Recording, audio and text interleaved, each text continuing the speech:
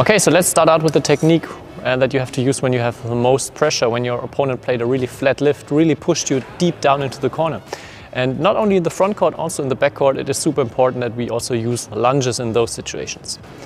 But I don't want to focus too much on the lunge itself, but I think the more interesting part about the rear court footwork here is the approach to the corner. So on the forehand side, we always want to start with a cross behind. So split step, cross behind, and then going down into a lunge where the foot is pointing into the direction of the corner.